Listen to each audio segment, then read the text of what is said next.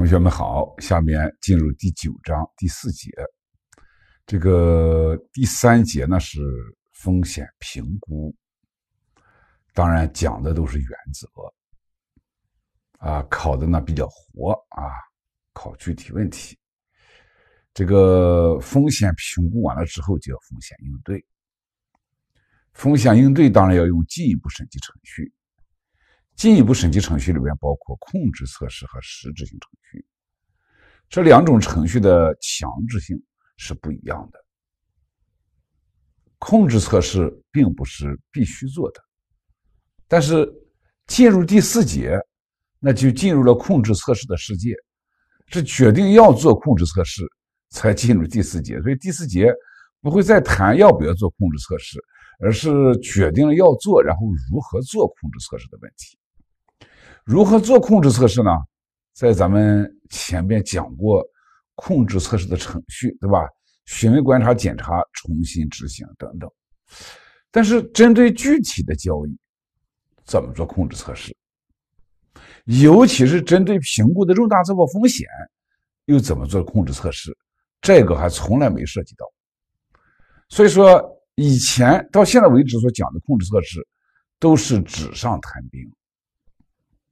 都是偏理论、偏原则，啊，心灵鸡汤的这个成分比较大。嗯，这一节就告诉我们，面对评估的具体的重大财报风险，它可能比那个具体项目的具体认定还要细啊，因为我们知道评估风险还要讲究原因、规模、可能性，还有一个原因呢。大家要知道，很多不同的原因，最后体现出来的。财报表的项目和认定是一样的，那个原因也导致哎营业收入发生认定重大财报风险，另外一个原因也可能导致营业收入发生认定重大财报风险，所以还很难说，我只要有营业收入发生认定重大财报风险这个结论出来了，我就知道要做什么控制测试。其实不要透过营业收入的发生认定，看什么原因导致的这个发生认定的风险。然后在那个原因、那个环节上找相关控制去测试，什么才是相关控制？什么样的控制才能制约？或者专业点说，什么样的控制才能够防止或者发现并纠正我们所关心的这类具体错报？那其实还得有个选择。作为注册会计师，自己心里都有一杆秤。备审单位的内部控制千条万条，你需要哪一条？你得心里有个数。你不要指望着到备审单位，我问问你，你们公司有什么控制，防止什么什么我关心的那种错报，他不一定说得到点子上去。这个执行控制的人未必知道执行这个控制要做什么，设计控制的人才知道。最关键的是，注册会计师自己得知道。这种错报得需要什么控制来预防？那就找那样的控制呢来测试。那那样的控制，对现在的情形来说，应当既包含人工控制，人工控制是离不了的，同时还有自动化的控制。啊，所以对我这种具体的原因的，呃，导致这个认定的具体原因的这种重大错报来说，什么样的自动化控制？能够防止、发现并纠正它，或者与它是对应的。然后什么样的人工控制又与它是配套的？那这又有一大堆东西了啊！因为我们知道第五章、第七章其实都讲过了自动化控制和人工控制的关系。任何一个自动化控制，不管它有多高级，都会有人工控制与它配套。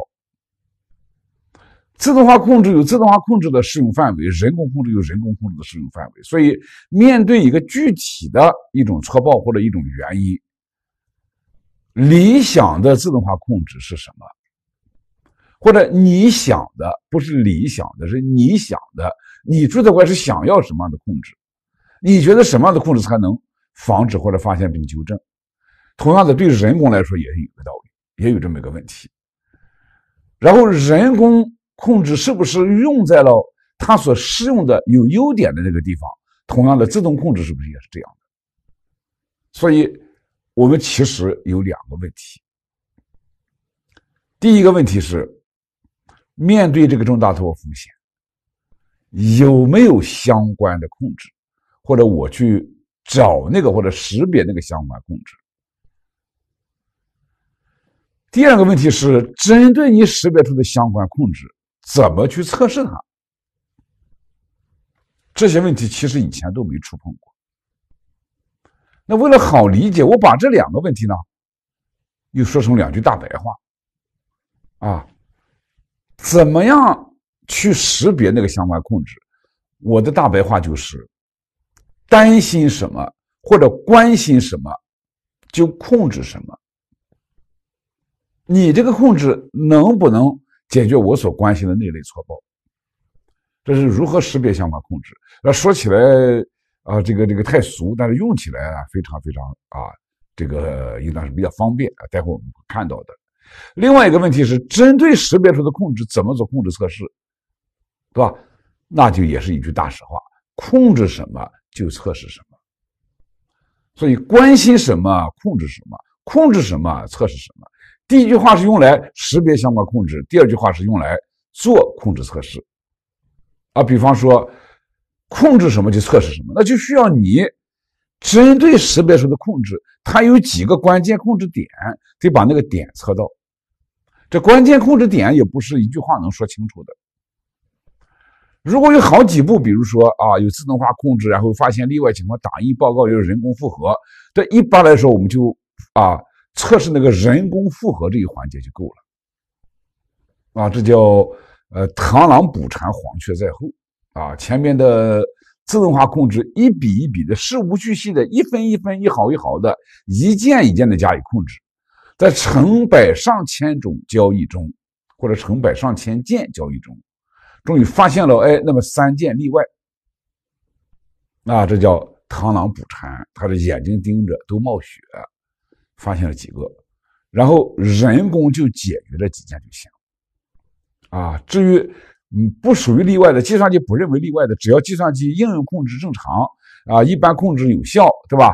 这个软件版本正常，什么没有重大变动，这一套我们原来说过的，对吧？那你放心，那些他没有发现有问题的，他不认为异常的，不会有什么问题，你就人工就解决这有异常的东西。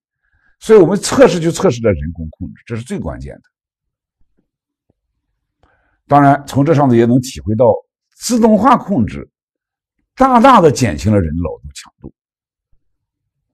但是大大的增加人的责任责任感。好了，这是对于控制测试的一种补充，啊，所以我觉得控制测试，啊，那个实物操作的控制测试，只有学到这个地方，才能够啊有一个进一步的感受啊。那么好，呃，闲言碎语就少讲啊，我们然后进入正题儿。呃，但是遗憾的是，最近五年的考试频率也才。啊，也才零啊，这个但是不要以为啊，它就一直是零，它在某些年份综合题里边真的会有那么一个资料啊，那一个资料就是四个问题了，对吧？给你列一些控制，或者让你识别控制有没有缺陷，或者注册会计师做的控制测试，你觉得恰当不恰当，对吧？诸如此类的，呃，确实有些年份，但最近五年没有，是吧？有些年份。综合题一共五个资料里边有那么一个资料涉及到四五分，就是干这事儿的。那要我反过来说，逆向思维，正因为最近五年没考，所以我们一定要防止，因为我们知道控制测试在审计中的地位还是很高的，尽管它比不上实质性程序，但它地位还是很高的。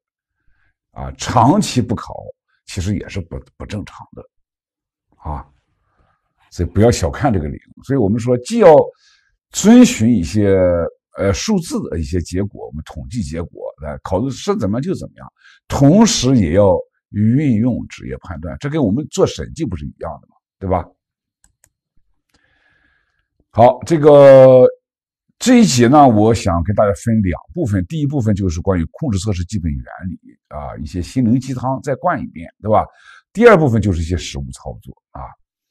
那么基本原理里面有这么四五条。第一条，控制测试所使用的程序的类型，这我们都知道是询问、观察、检查、重新执行。关键有新意的结论是，这四个程序它提供的保证程度依次递增。我们为什么要关心它提供的保证程度高低呢？因为这决定了控制测试的范围大小。决定控制测试范围的最主要因素是啊，你通过控制测试所提供的保证程度。换句话说，你打算通过控制啊，对控制测试依赖程度为高还是低？依赖程度高，当然是保证程度要高。或者反过来说，因为保证程度高，所以依赖程度高。因为我想依赖它提供高保证，所以在这种情况下，控制测试范围就大。所以这个啊，当保证程度定了以后，哎，你选什么程序跟这就有关系了。你想提供高保证，大概你连检查都没做到，更不要说重新执行，那恐怕是达不到那种高保证的啊。好，注册怪是需要根据所测试的控制的特征以及所需要获取获取的保证程度啊，来选用适当的控制测试程序。第二点，如果在其中实施了控制测试，那可不是一蹴而就的，你得往期末延伸，应当在年末审计时实施适当的前推程序。第八章叫做延伸程序。这叫前推程序啊，这个这是到底是前推还是延伸，取决于你站在什么点上说话，对吧？你站在年末说这个后半年啊，这个当然是以前的事了，所以要前推，对吧？你站在八九月份或者后半年，你看年末，你要往年末延伸呀，对吧？你现在只只测到八九月份呀。你得往年末延伸，这啊话都是对的，这东西啊，所以这个就是一个习惯啊，就是个习惯。生活中也有经常有这样的啊，比如说一个楼啊，一个楼的楼梯或者进门的那个那一面，呃，通常都在阴面，因为阳面啊让人来住。但是有人认为，你说我在楼前边呢啊，他指的楼前面就是阳面，在楼前边。有人认为我在楼前边，楼前边就是在。楼门口、楼梯门口那儿了，那一面的阴面的，到底什么叫前面？哎呀，没有人规定过什么叫楼前楼后，所以你要在要是做审计的人，恐怕得再追加对方一句：是在阳面还是阴面？否则你俩会你找不着我，我找不着你啊。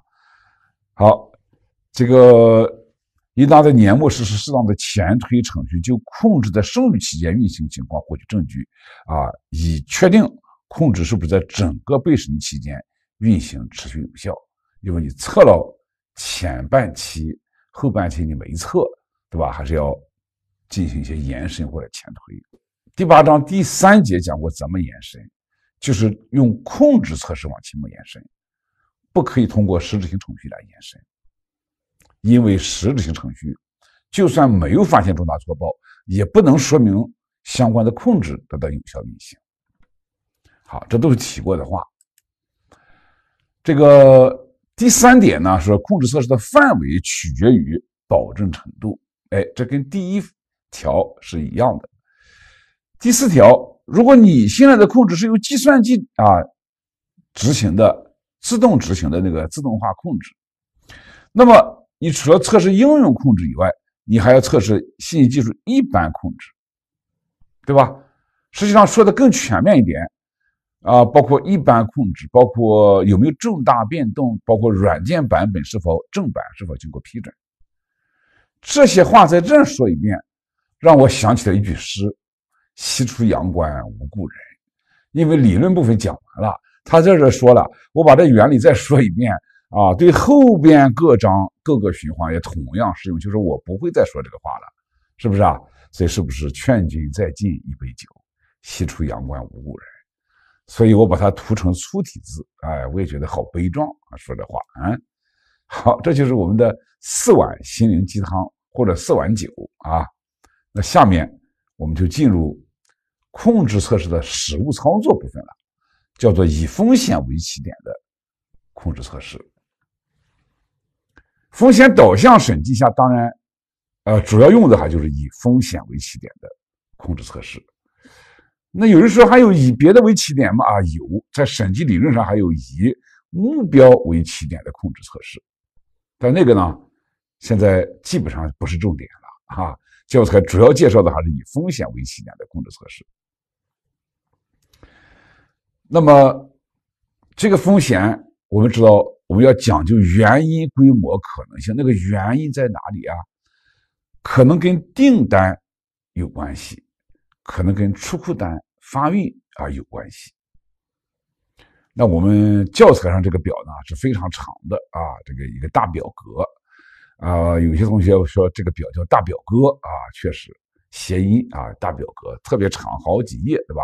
看起来密密麻麻，但是你知道，它对实际审计工作的实施、实务操作是相当有参考价值啊，在实际工作中就用这样的东西。但可能觉得太实务操作了，反而考的少。所考的内容，就是我说偶尔某一年的综合题会考，所考的内容大部分都是我们上边所说的心灵鸡汤这一类的画画。实务操作呢，还真的考的很少啊。这说实话，所以这个他可能觉得比较难，手下留情，出的比较少。但是既然印在教材上，想出是哪一年都能出，万事俱备。只欠出题，跟你讲，所以我们必须准备好了，得有这本领，不能抱侥幸心理，说这部分不考，对吧？以前没考，不意味着以后不考。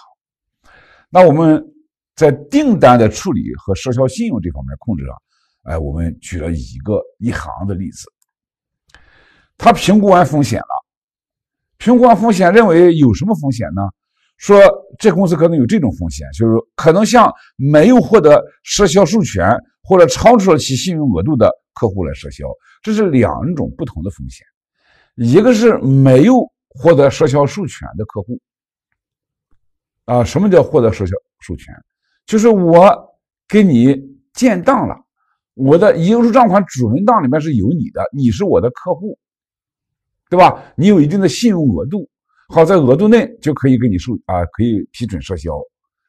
那没有获得赊销授权，就你根本就没进入我的应收账款主文档，你到目前为止还不是我的客户。那什么样的公司是这样呢？往好了说，有新客户，那当然每个客户总有第一次进入主文档，是吧？这客户这新客户刚发展过来的，还没有进入主文档，这是一种；还有一种就是假客户，根本没有这个客户。啊，他虚构了一个客户，然后呢确认营业收入，为了高估收入，实际上，这怎么知道有这种风险呢？哎呀，这个东西啊，就是根据实际情况出来的，对吧？他可能通过询问、观察、检查啊、讨论等等，哎，发现某员工等等啊，可能提供了相关信息，发现有这种可能性，啊，所以我们。呃，我们老板捣过这鬼，怎么怎么样的啊？可能谈出来了，是不是啊？那就有这种可能性。现在我们不管这风险怎么来的，这是一个结论。那这个对于销售收款循环里边，那影响什么项目什么认定？影响营业收入的发生，因为它可能虚构呀，对吧？也影响应收账款。我们一般就提应收账款，不提合同资产了一大堆啊，就应收账款应收账款的存在认定，因为最恶劣的就是虚构。啊，呃，那么刚才说了，什么样的控制能够防止或者发现并纠正这种错报？注意，这是两种错报，咱得分开说，对吧？更具体的说，什么样的自动控制能够防止或者发现并纠正这种错报？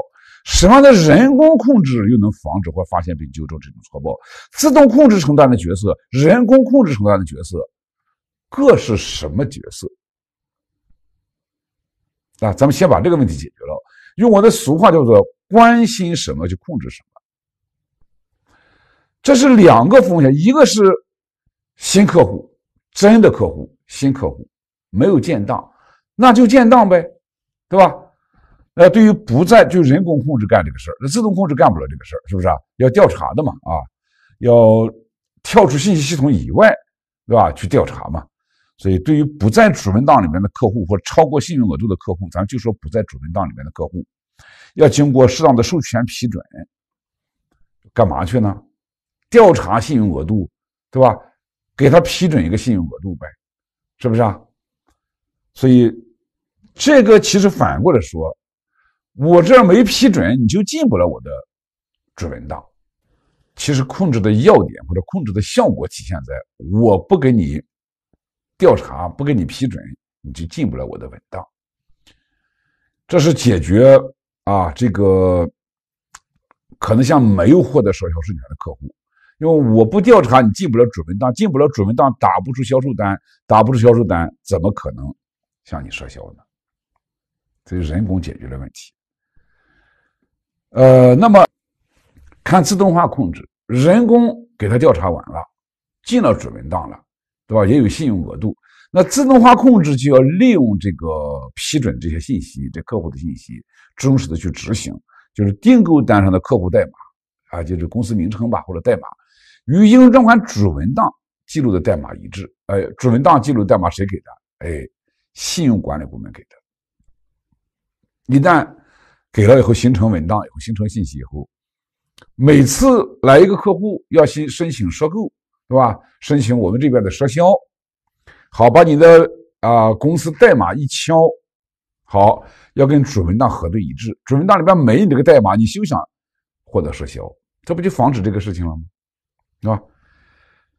呃，这是一个问题。呃，另外一个问题是，可能像超出了信用额度的客户赊销，他的额度，比如他的总的额度是三百万。他目前欠款一百万，它剩余额度是二百万。那你本次申请赊购或者申请我们赊销的额度是不能超过二百万的。如果你想要二百二十万，那就超过你剩余额度二百万，对吧？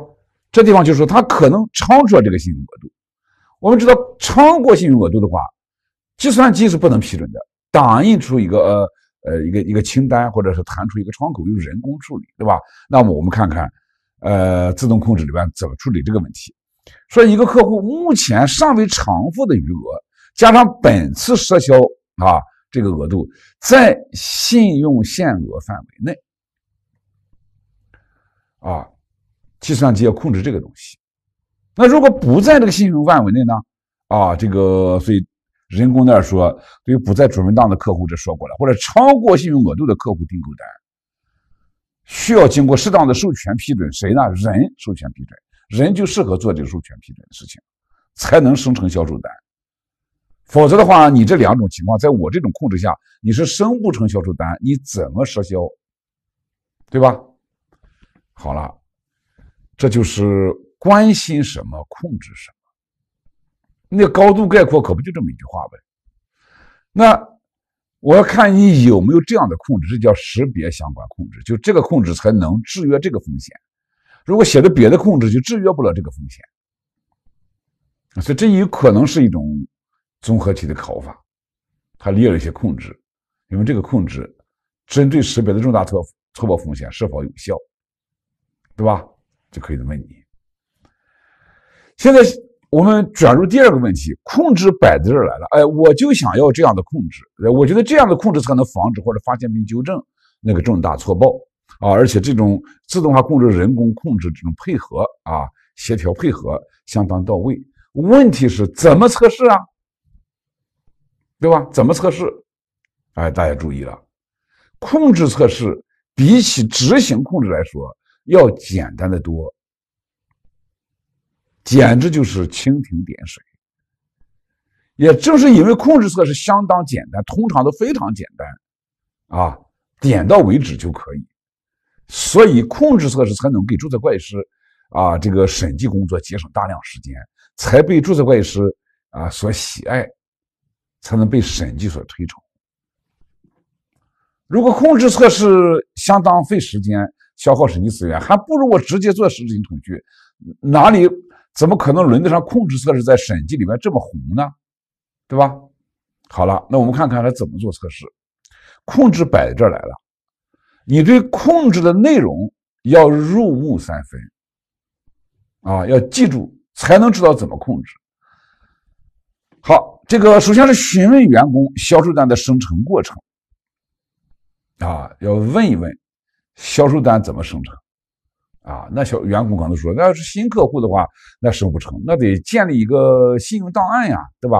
得进主文档呀，对吧？有名称代码啊，然后还得这个查一查他历史的欠款啊。如果老客户查查历史的欠款跟本次赊购金额，然后合起来啊，是不是超过他的信用额度？否则打不出销售单的。哎，我们都试过，超一分钱都不行，超过的话的人工批准不批准不可能出来，是吧？所以说，对于不超这方面啊，应当没问题的。超的话，自动化控制是不管的，是由人工作，所以关键是在人工手里边，对吧？所以我说，人还是掌控这个自动化控制的，实际上，所以他要询问员工销售单的生成过程，其实就把那个什么情况才能打出销售单来啊，要问到。那仅询问是不行，还要检查是不是所有生成的销售单都有对应的顾客订单为依据。因为如果没有顾客订单，这顾客可能是虚构的，啊，这是反过来问，你是正着控制，我是反过来问，对吧？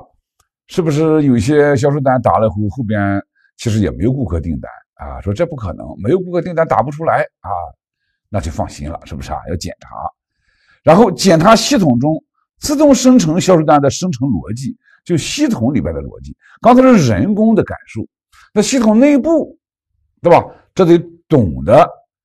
自动化控制或者计算机程序的这方面的注册会计师或者这方面的专家，对吧？他能查看，他能确认系统在什么情形下才能打印出销售单啊？要打销售单，得有代码一致，然后查了剩余额度，哎，呃，是不小于他申请赊销的这个额度的，只有这两个，两者合在一起才可能啊。这两个不满足。必须人工审批才能打印出来，对吧？那得到程序里边，所以一个由一个在外边问人，一个在里边查程序，是吧？里应外合，是不是这样的？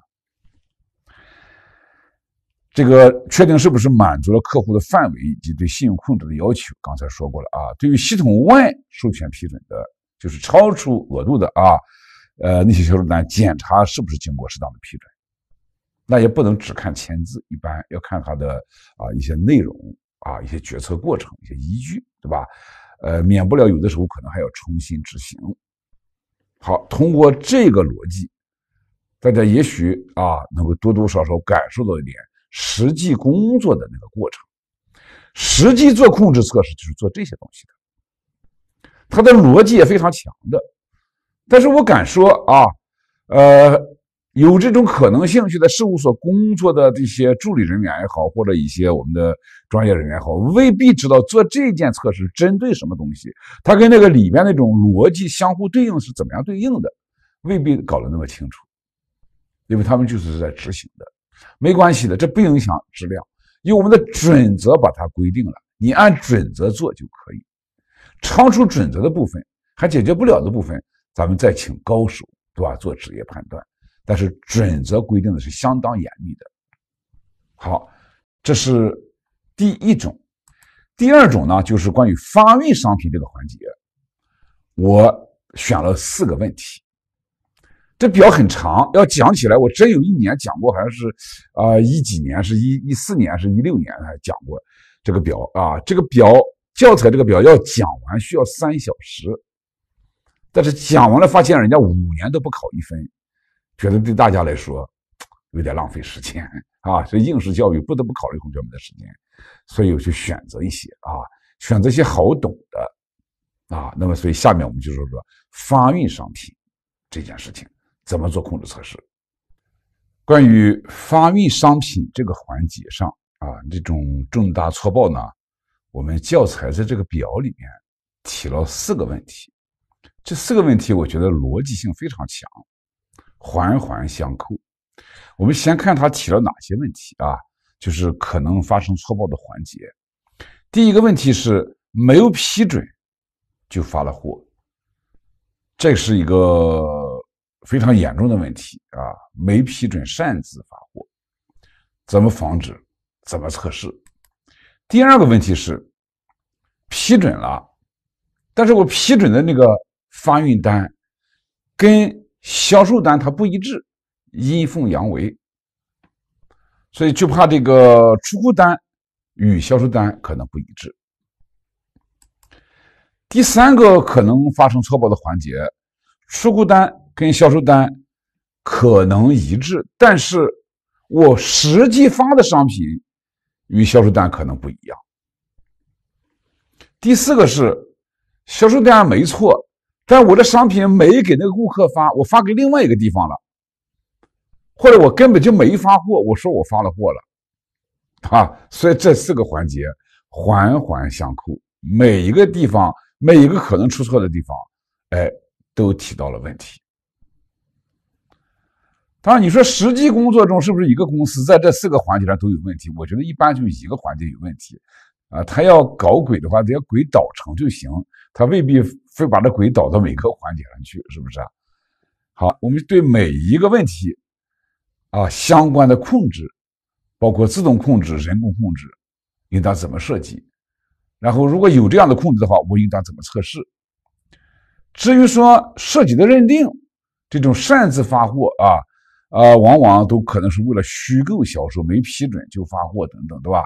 呃，导致的营业收入违反发式认定，应收账款违反存在认定，这个我们就不提它了啊。好，现在针对第一个问题，没有批准发货就发出了商品。啊，这个批准就失控了，这怎么行？必须有批准的环节。批准的环节是人工和自动化，人工在这批准，自动化来执行这个批准。可以说，先看人工，只有当附有经批准的销售单和出库单才能放行。换句话说，没有我的批准就不能放行。人工来做这个事儿啊，这个然后自动化控制做什么呢？当客户的销售单在系统中获得发货批准时，自啊系统就自动生成连续编号的出库单。那你反过来看这句话，如果没有获得批准，就不能生成出库单。那不能生成出库单，就不能放行。这样不批准你就发货，呃，一旦漏洞堵住了吧，对吧？获得批准才能产生出库单，不获得批准就没有出库单，没有出库单就不可能给你放行。所以这有两方面这样的配套的啊一个控制，我觉得这个控制人工也好，自动化也好，承担的角色都是非常科学合理的。然后控制测试怎么做？检查系统内出库单的生成逻辑啊，这得。看那个自动控制的那个程序，那个程序版本，或者是哪一个程序相关的商家或者设计单位来设计的啊？一般这方面的专家一听是哪个公司设置的，他就知道那地方是怎么怎么啊，哪里有漏洞等等，他就知道啊。呃，所以检查系统的出库单的生成逻辑，这是要熟悉那个系统才行，以及。出库单是不是连续编号啊？这是可以检查的，也可以用计算机辅助审计技术检查。因为电子化的信息，用电子的方式检查是非常方便的。然后询问并观察发运时保安人员放行检查的情况，这是很关键的，对吧？呃，是不是没有出库单、没有销售单就不能放行？两个少一个都不能放行。呃，虽然那儿规定的是批准了才能有出库单。才能有销售单，但是保安那儿，对吧？有没有都放行啊？这个叫什么呢？工作不认真啊，或者看人情啊等等，那这个控制恐怕啊也是 成败在此一举吧。这是关键环节，所以人工总是把握着关键的环节。所以一个看系统内部，一个看外部的人员，所以也是我说的里应外合。那第二个可能发生错报的环节是发出商品与客户销售单可能不一致，就是呃销售单、出库单两者可能不一致，担心这种事情。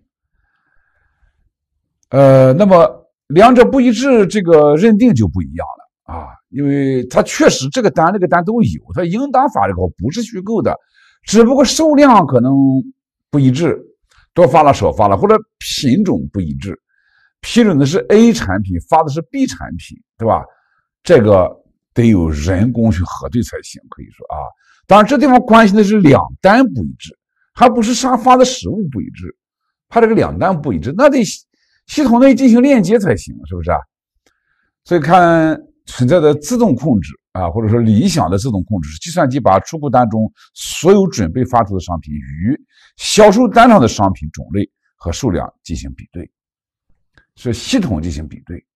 那有不一致的，那就啊打印个例外报告呗，打印种类或数量不符的那个例外报告，暂缓发货，拦住，弹出一个窗口啊。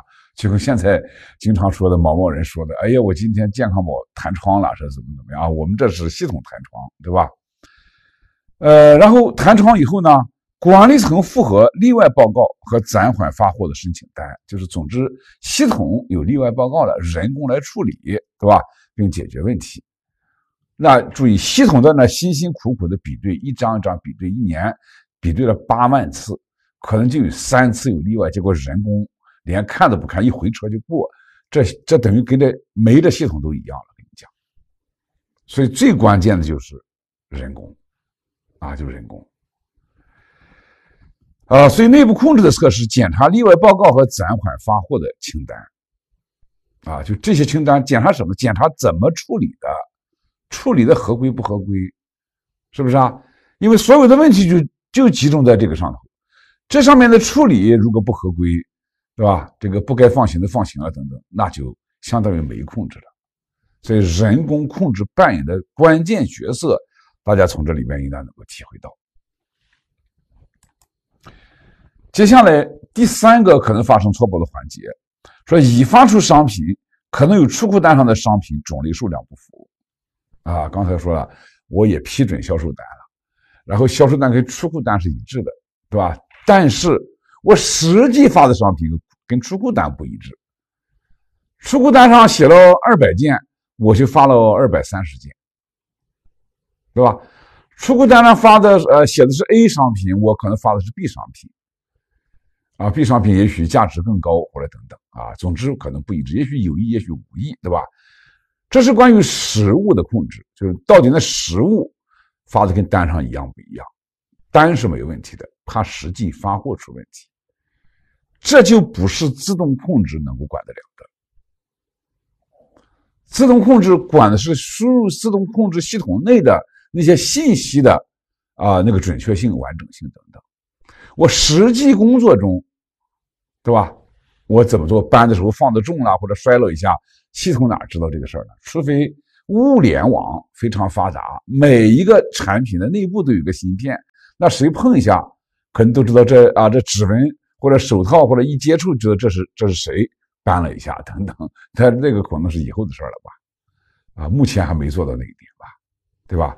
所以目前自动控制是无法控制系统信息以外的其他的行为的，所以自动控制一片空白。啊，这要看人，人怎么控制呀？人把你要发出的商品在装箱打包之前。看看里边有什么东西，有多少件，看看出库单上多少件，核对一下。而且这个人还不能有私心，对吧？所以主要是人工控制。他这说了，商品打包发运前，装运部门对商品和出库单内容进行独立核对。独立核对就是由啊由不装运商品的人来核对，由装运商品的人自己核对。他愿意多放两件，今天这个。商品是给他的啊家人或者朋友所在的公司发的，他们之间已经串通好了，他多发几件，那你怎么知道？他他也不会说出来呀，所以要独立核对，并在出库单上签字以示呢商品对吧？呃，与出库单核对，呃，且种类数量相符啊等等。换句话说，哪一个独立人员检查的那个商品实物跟出库单的一致性？谁呢？就在相关出库单上签字，将来出了问题要找你的，可追溯的这是。不光这样，而且要客户在出库单上签字，作为收到商品并且商品与订购单一致的证据。客户这边签字当然也很重要了啊，因为这涉及到外部的，对吧？呃，相当于是跟内部的核查啊、外部的验收等等结合起来了。但是外部的验收是有一个弱点的。就是如果公司多给他发了几件，那么他就赚了。他会不会诚实的把这件事情告诉备审单位，说我那儿我从你那儿订了一百件，你给我发了一百零五件，对吧？呃，按道理有应当这样，但是不见得能把这种问题发现得了。这得相当诚实才行啊，诚实的天真才行。就像我的孙女大宝啊，考试数学得了一百分，但他自己检查有个地方老师少扣他一分，专门找老师啊，这个说这分你你你那扣你怎么不扣我啊？那老师都吃惊啊，然后说有这么诚实的孩子真可爱是吧？小朋友啊就比较天真对吧？说一不二的啊，好。这个，所以实际上，客户那边的钱是，你要少发给他，他是不干的；多发发给他，他要把这个事情说出来，可能性不高。只有内部的独立核查，我们倒觉得是啊，多了少了，将来都要找他麻烦。所以他多了少了，他都要严谨认真。但是再强的内控，如果对方把这内部的这个独立验收人员、独立核查人员如果买通了，那一切都完了。所以任何内控。都架不住相互串通、串通舞弊啊！好，这个这项相关的控制，对吧？跟他所关心的那个问题，是不是说关心什么控制什么？他真做到位了。然后我们内部啊，内部内部控制的控制测试呢，自然是跟自动控制无关了，因为这不是自动控制管得了的事情啊。所以检查出库单上。相关员工就是那独立核查员工以及客户啊，就是验收的那个员工、接收商品那个员工啊，那个签名作为发货一致的证据，就检查一下这个签名，这个够不够呢？这个应当够，因为他有客户的签名，两方都有签名，对吧？这难道要重新执行吗？这恐怕不太现实，对吧？说我查到。抽出一个样本来，我现在是一月份啊审计，我抽出了八月份的一次发货作为我的样本，然后我要重新执行。你当时啊有没有开箱检查跟出库单一致？那商品早就发走了，是不是啊？所以这个我倒觉得，如果想要增加的话，增加一点现场观察，观察他工作认真不认真，那得悄悄观察，对吧？你要是公开的观察，你观察时候看到的情况和你不观察是不一样的。这关键是责任比较重啊，自己签字啊，错了要负责的，而且客户那边还有应对，所以呢，这方面呢，我觉得签字看上好像仅检查签字不足，但是呢，应当也够了。他提出的最后一个环节啊，是货我发了，货跟那个发货单或者出库单也是一致的。但是我没有发给顾客，啊，商品是有是一致，但是我发给我自己了，是不是啊？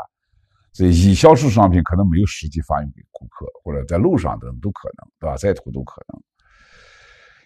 这个发商品的时候，商品流转，我说除非物联网非常发达，否则这个在目前这个情形下，对吧？呃，只是一个互联网，还没有物联网的话，那么关于实物的流转。呃，自动控制很难控制，就是鞭长莫及吧，可以说啊，主要是人工控制。那么客户要在出库单上签字，作为收到商品，并且商品与订购单一致的证据。哎，这一点放在上一个控制里边，好像它还有倾向。但是我只关心客户收没收到货，对吧？这个要客户签字，这一点足够了。因为如果他没收到，他签字对客户是不利的，对吧？我关心的是没收到。如果关心的是是不是多发商品了啊，这个让客户就揭露出来，客户也可能不揭露。